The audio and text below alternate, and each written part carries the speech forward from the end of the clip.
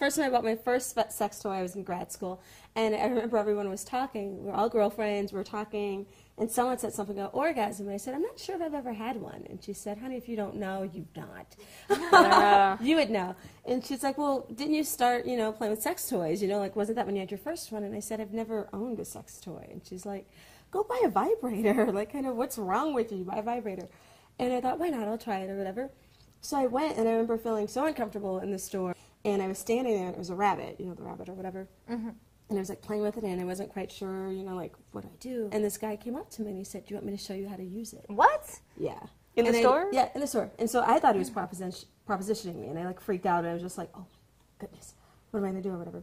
And he's like, "Oh no!" So he starts demoing the prod, the product. Yeah, product. he's by- just trying to In the do air? a salesman job. he, almost. he's giving on the yeah, Yeah. the air the Yeah. job, not me. Uh-huh. And so uh, he showed me how to use it, and I ended up buying it. I went home and I had my first orgasm. I'd been having sex for over a year, or a couple of years at that point, or whatever. But I didn't have an orgasm until I tried a sex toy. So then I Mm. understood my body better and knew what to tell guys to do differently. It was like your Charlotte moment, and I'm yes, I'm comparing to Sex in the City, No. where she had the mirror. When that. she had the mirror and she finally looked at her anatomy. I think it's like the eureka moment. Yeah. And I Yeah. think many women have that experience where either you haven't had an orgasm yet or you haven't looked at your own lady bits Right. and just not being really comfortable. I wasn't for a very long right. time until I learned more about my body.